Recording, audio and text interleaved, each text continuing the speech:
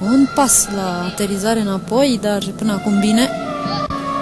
Tsukahara pe cea de-a doua diagonală.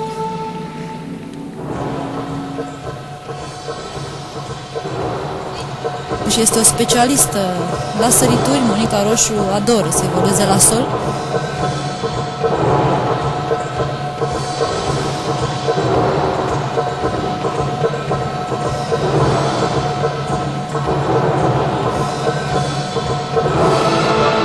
Și asta mai prost la partea artistică și mult mai bine, chiar foarte bine la partea acrobatică. A treia diagonală. A mascat acolo cu o săritură. S-a dus puțin în față.